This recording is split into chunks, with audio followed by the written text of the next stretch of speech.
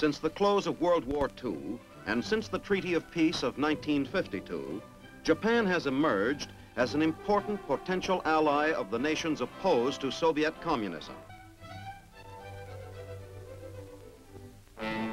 The clarity of the Soviet threat to take Japan by one means or another can be seen in the The experience of these occupation troops who were small in number compared to the enormous Red force that attacked South Korea has been a lesson in preparedness. Ready as these men were, many were lost.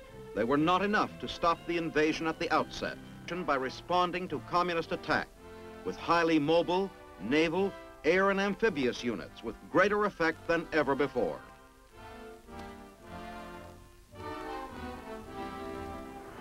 Through our mutual defense agreement, more equipment is needed to match the increasing buildup of men and equipment in Asia by the Soviet Union and her satellites.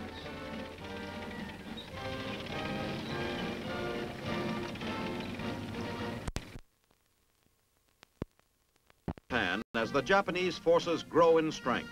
But the goal of a self-reliant, self-defended Japan is far from realization.